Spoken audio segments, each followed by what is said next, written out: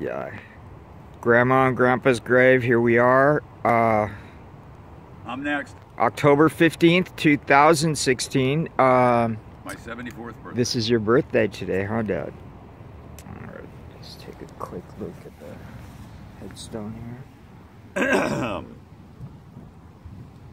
Six years older than my father when he died.